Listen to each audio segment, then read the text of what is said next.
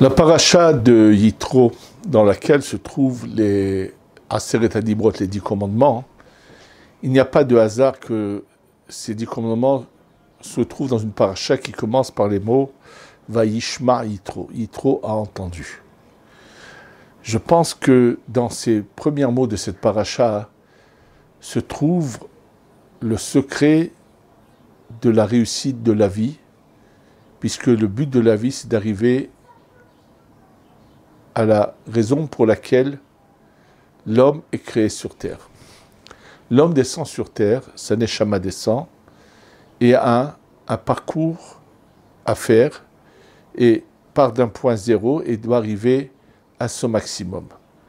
Le maximum de chacun, c'est d'arriver à la réalité qu'il y, a, y a Dieu qui, en fait, vibre en nous, vibre, vibre autour de nous, et que nous devons suivre à la lettre ce qu'il nous demande. Et je le répète, il veut qu'on jouisse de la vie. Et si on le suit, on saura réellement jouir de la vie. Ne pas se laisser tenter par toutes ces apparences qui sont fausses. Et donc, euh, en fait, ces dix commandements commencent par cette parole de Vaishma Yitro, parce que tout simplement, qui n'avait pas entendu les, ce que Dieu a donné les, cette, la, Torah au peuple d'Israël. Qu'est-ce qui s'est passé, la sortie d'Égypte? Ça s'est propagé dans toutes les populations. Combien ont été capables d'intérioriser cela et d'arriver à faire le pas et s'engager à fond au service de Dieu? La Torah vient témoigner que Yitro l'a fait. Pourquoi Vaishma? Il a écouté. Écouter, ça veut dire faire pénétrer ça dans les oreilles jusqu'au fond du cœur, à intérioriser les choses. savoir, c'est une chose. Intérioriser, c'est une autre.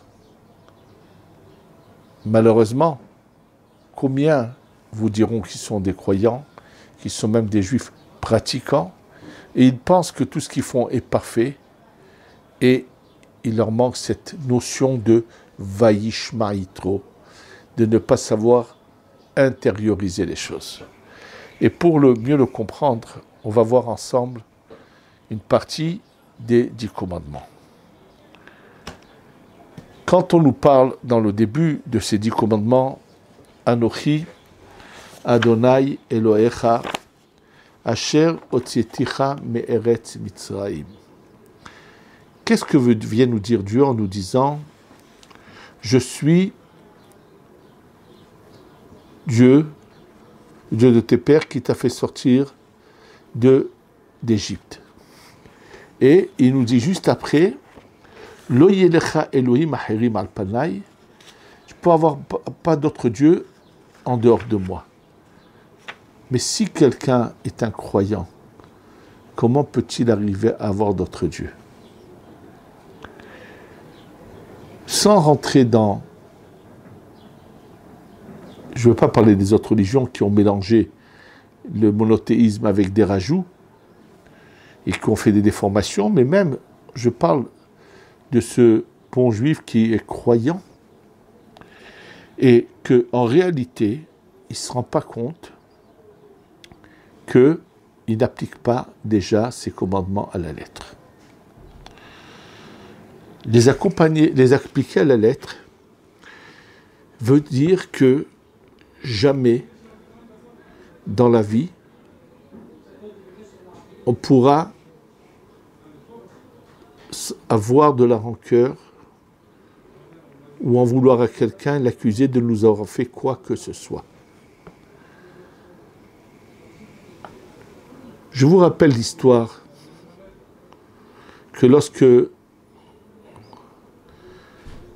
les ennemis de David, il y en a qui prononcent à son encontre des paroles de malédiction, David retient son entourage, les empêche d'aller punir cette personne, et il leur dit Hachem Amarlo Kalel. Si ces, malédictions sont sorties de sa bouche, c'est que lui, le roi David, les méritait. En fait, dans la vie, combien on est capable de comprendre que finalement tout vient d'Hachem, que même si on n'arrive pas à comprendre des choses, mais ça ne changera en rien, que tout vient de lui. Combien seront capables de le comprendre et de l'admettre? Et qu'on n'est là que pour le servir. Ça peut se. Si on avait constamment à l'esprit qu'on est au service d'Hachem, alors dans toutes nos actions, on réfléchirait à ce qu'on fait. Je vais prendre un exemple auquel les gens ne se posent même pas de questions. Quelqu'un travaille et voilà qu'à une heure, ou à midi, à une heure, c'est pas important, il veut prendre son repas, il ne peut pas rentrer chez lui. Devant lui, il y a plusieurs options. Les restaurants sont nombreux. Qu'est-ce qu'il va aller chercher comme lieu pour se restaurer? Celui qui est conscient que je suis là pour être au service d'Hachem, il va tout simplement chercher un lieu qui est le plus proche pour pas perdre de temps, où il trouvera de quoi se restaurer pour un prix raisonnable. Celui qui oublie, oublie qu'il y a un Dieu sur terre, il va chercher un restaurant de renom, quel que soit le prix qu'il va mettre. Il va, il va, il va faire de, cette, de, de, de ce repas une sorte d'idolâtrie. C'est pas seulement au niveau du repas, ça peut être à tous les niveaux que la personne ne sert pas Dieu, mais sert les pierres, sert tout, tout ce qui peut l'entourer. D'ailleurs, j'ai eu l'occasion de vous l'expliquer dans les cours qui concernent cette bracha que nous récitons au début du mois de Nissan, qui est la bracha sur les arbres fleuris, où on décide de se séparer de toutes les idolâtries qu'il y a autour de nous. Donc ça c'est déjà ce commandement. Qu'on va entendre cette parole d'Hachem, ce, ce Shabbat, qu'on essaye d'intérioriser qu'on est sur terre pour être qu'au service d'Hachem. Maintenant, qu'est-ce qui empêche l'homme d'intérioriser? On va passer à, notre, à la troisième interdiction des dix commandements. Souvent, c'est l'orgueil et les honneurs. Troisième interdiction nous demande de ne pas prononcer un nom de Dieu en vain. Lotissa, Echem Adonai Elohecha, la chave. Ne prononce pas le nom de Dieu en vain.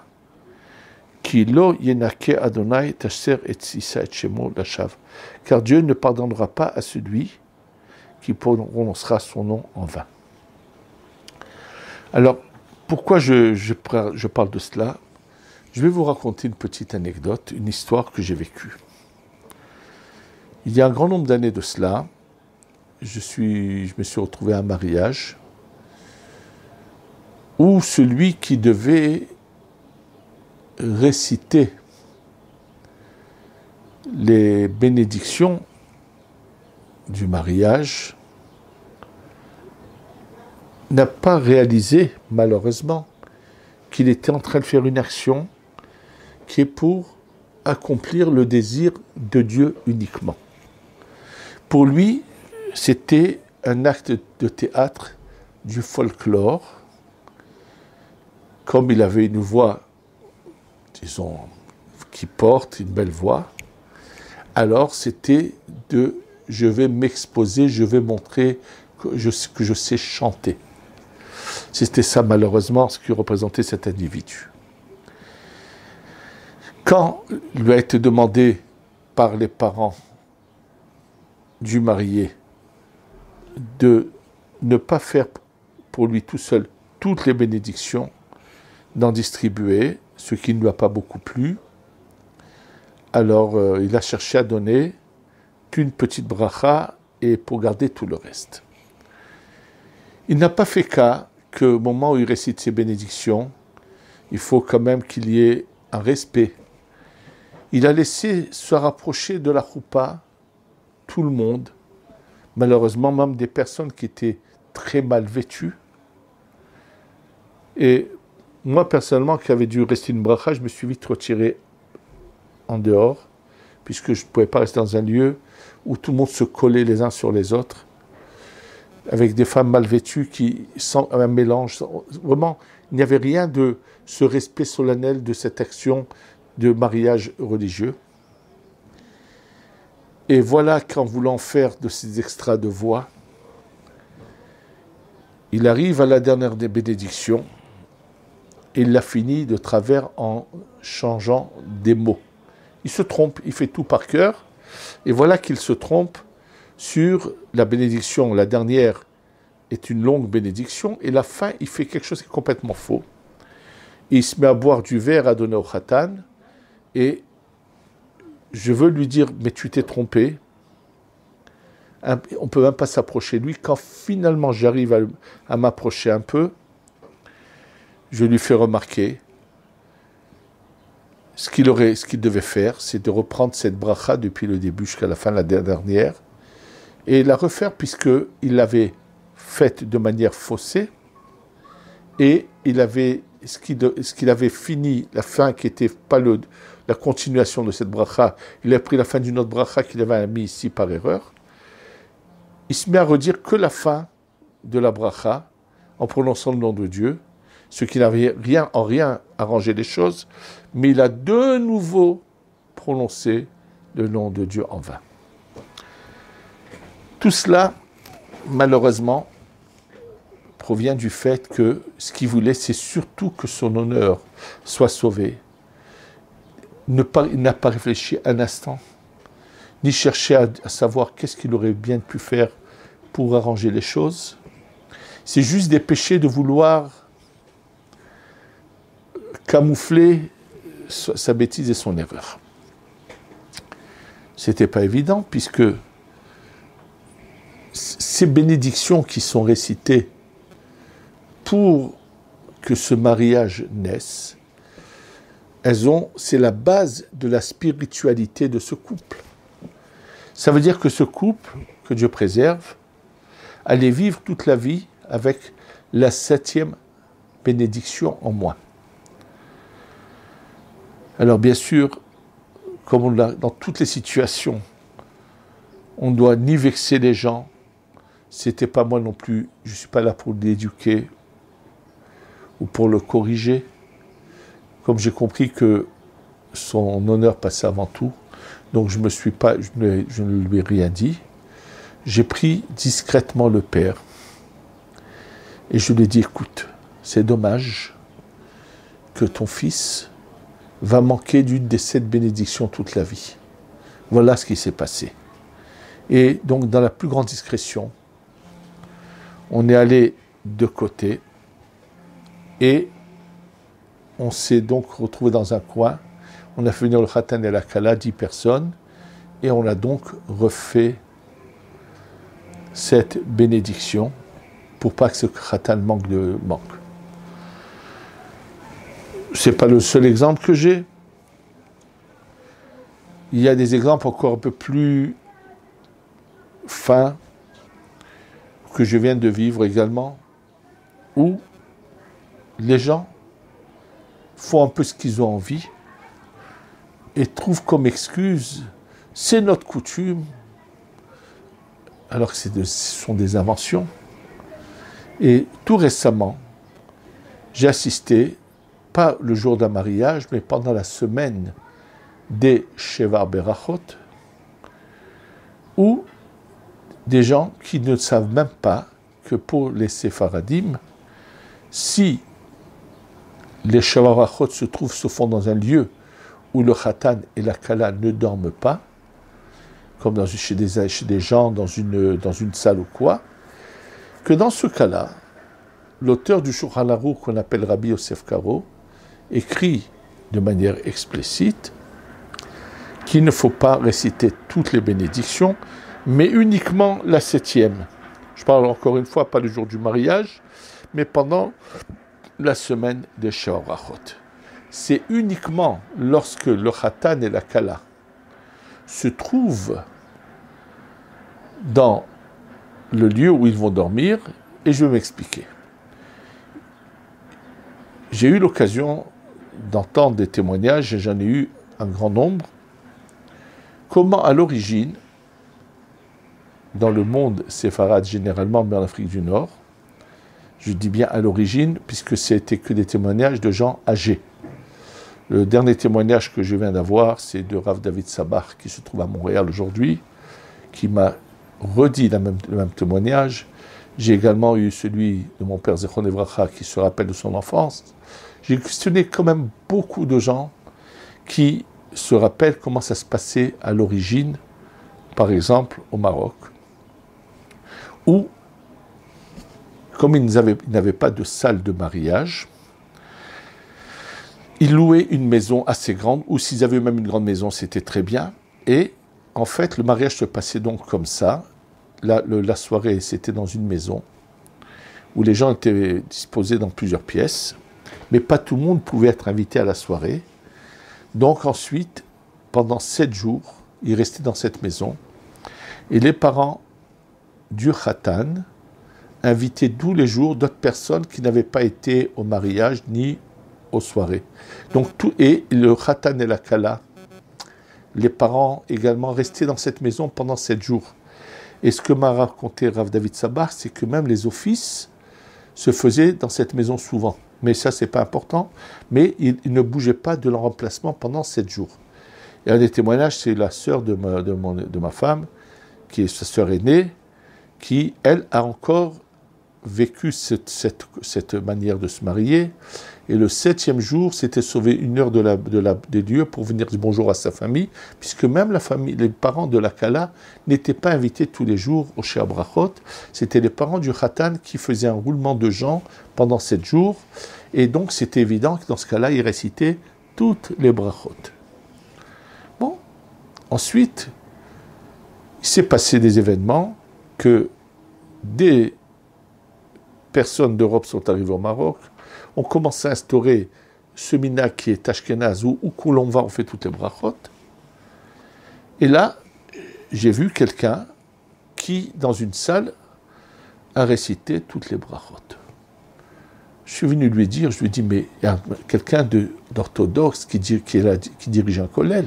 Je lui ai dit, mais sur quoi tu te bases? Il me dit, mais la coutume, je lui dis, de quelle coutume tu parles? Et quand il a voulu de parler de coutume, je lui ai dit, mais c'est pas vrai. Tu sais bien qu'à l'origine, c'était pas comme ça. Et Mina Dieu a fait que son père, un vieillard, qui était présent, il m'a dit, oui, c'est vrai, en me donnant raison, en disant, oui, c'est exact, que son père, qui était un vieillard, qui est donc vraiment personne âgée, a témoigné devant son fils qu'effectivement, ça se passait comme ça. Je lui dis voilà. Et il y avait devant moi des personnes que je savais qui s'étaient mariées, des vieilles personnes qui s'étaient mariées comme ça. Je lui dis tu veux des témoignages? Les voilà. Il m'a dit tu as vu tel et tel livre? Je lui dis alors? Il dit malheureusement, le livre que tu cites, qui a été écrit par un contemporain, écrit des choses qui sont fausses. Faux témoignages. Parce que les gens, quand ils ont des fois des choses dans leur tête, ils sont capables de changer la réalité. Je lui dis, mais avec de quel droit? Comment tu es capable de réciter une bracha? Et c'est un des commandements des dix commandements. L'otissa et shemo la La coutume est comme le Shulchan Aruch l'écrit, l'origine de la coutume. ça a changé les 40 dernières années, ça ne change pas la halacha dès l'instant où ils ont arrêté de faire comme ça se passait à l'origine, c'est-à-dire que les sept jours se passaient dans une maison, Et c'est dans cette maison que se passaient les Shabrachot. Donc le Khatan et la Kala dormaient sur place. Je lui dis, ça se passait comme ça. Ce sont ça les termes du Mehaber. Comment tu peux avoir le courage de faire l'inverse et de réciter une bracha et que tu vas peut-être sortir le nom de Dieu en vain? Il en est de même pour chacun d'entre nous qu'avant de réciter une bracha, doit penser à ce qui va sortir de la bouche. N'oublions pas que les brachot, ce sont notre assurance vie. Je vais l'expliquer tout de suite. Je parle de gens qui les récitent n'importe comment, ou qui des fois les, ont dites et ont oublié, vont les redire une deuxième fois, donc ce sera de nouveau une bracha en vain. Or, n'oubliez pas que la Gemara ramène que l'instauration de 100 bénédictions par jour a été l'immunité qui a stoppé une sorte de, d'épidémie où il y avait tous les jours des morts. C'est-à-dire que bien réciter les 100 brachot, c'est l'assurance vie. combien, malheureusement, il y a de maladies autour de nous? Combien de, d'attentats? Combien de choses malheureuses? Comment peut-on y remédier? Vaishma Yitro, intérioriser au moins ces dix commandements. Encore quelques mots par rapport au Shabbat. Quand il nous est donné dans la Torah, il nous est dit clairement de Zachor et Yom Shabbat, les Kadesho. Si c'est marqué Zachor dans, dans des varim, dans Vaitran, c'est marqué Shamor. Déjà, Zachor veut dire toute la semaine, tu vas te souvenir qu'il y a un Shabbat. Et donc réserver au Shabbat les meilleurs vins, les meilleurs plats. C'est-à-dire qu'en semaine, tu vas, te laisser, tu vas chercher qu'à ce que, ton, ce que tu as besoin pour vivre en bonne santé. Donc non seulement que toute la semaine, tu vas te souvenir du Shabbat, mais à plus forte raison que le septième jour, tu vas tourner une page sur la semaine et tu vas t'arrêter de parler de tous les sujets possibles et imaginables. Shabbat, tu, dois te concentrer vers ton rapprochement de Dieu. Commandement tellement important. Comment savoir bien l'appliquer? Quand on nous demande de ne pas tuer, dans les dix commandements, tuer, c'est pas seulement prendre un couteau ou un revolver et abattre quelqu'un. Des fois, quand on fait une réflexion à quelqu'un en public, on le tue. Ou qu'on fait un procès d'intention à quelqu'un, on peut le tuer également. On ne le tue pas complètement, mais ça peut le tuer également. Lotin af, commandement qui nous interdit de faire tout ce qui est une forme d'adultère possible et imaginable.